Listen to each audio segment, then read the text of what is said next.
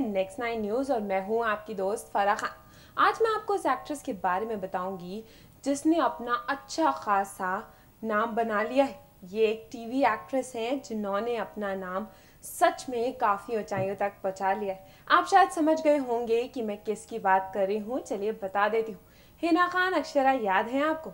Hina Khan TV industry का जाना पहचाना नाम है। बहुत कम समय में हिना खान ने काफ़ी शहरत हासिल कर ली। अब इस वजह से मैं क्यों ज़िक्र कर रही हूँ, क्या है वजह? चलिए जान लीजिए इस रिपोर्ट में। आपको बता दूँ, हिना खान ऐसी पहली टीवी एक्ट्रेस बन गई है, जिनका नाम पहली बार इंडिया डे परेड में शामिल होने का मौका मिल रहा है। अब हिना को न्यूयॉर्क में हो रहे इंडिया डे परेड के लिए इनवाइट किया गया है। फैंस ने सोशल मीडिया पर कमेंट कर एक्ट्रेस को बधाइयाँ दे रहे हैं। इस साल न्यूयॉर्क में 18 अगस्त को होने जा रहे इंडिया डे परेड में सैन्य बलों के पराक्रम और बलिदान को सम्मानित किया जाएगा। इंडिया डे परेड में हज़ारों भारतीय शामिल होते हैं। इस साल परेड का मुख्य थीम अपने सैनिकों का समर्थन करो, अपने सैनिकों को सलाम करो। F I A New York tri state के अध्यक्ष आलोक कुमार ने कहा, हमारे जवान सैनिक हमारे लिए अपने प्राणों का बलिदान देते हैं। ये हमारी ओर से श्रद्धांजलि है और मौका है कि हम उनकी सेवा, हिम्मत और बलिदान को याद रखें। अगर मैं आपको बता दूँ तो हिना खान एक ऐसी टीवी एक्ट्रेस हैं जिन्होंने टीवी के साथ साथ बहुत बड़े कदम उठाए हैं। जी हाँ मेरा इससे ये मतलब था कि हिना खान ऐसी टीवी एक्ट्रेस हैं जो कांस तक पहुँची थी।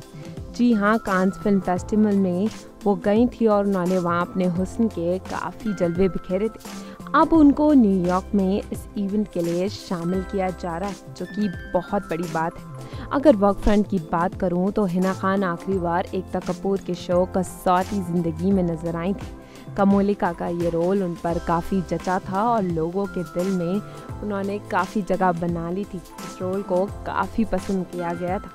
अब आपको बता दूँ, इससे पहले हिना खान ने सीरियल ये रिश्ता क्या कहलाता है? अक्षरा से सबका दिल जीता था। सच में अक्षरा सबको पसंद थी। उसके बाद हिना खान बिग बॉस में आई और उसके बाद धीरे धीरे अब वो फिल्म्स में भी अपनी जगह बनाने जा रही हैं। Farah Khan next nine news Cannes film festival के रेड कारपेट पर नज़र आई थी हिना खान। टीवी जगत की fame actress Hina Khan Cannes के रेड कारपेट पर जलवे बिखेरती नज़र आई थी। सोशल मीडिया पर हिना की कई पिक्स साझा की गई थी, जो तेज़ी से वायरल हुई थी। आपको बता दूँ कि हिना खान ने फ्रेंच रिवेरा में बहत्तरवा कांस फ़िल्म फेस्टिवल में भाग लिया था।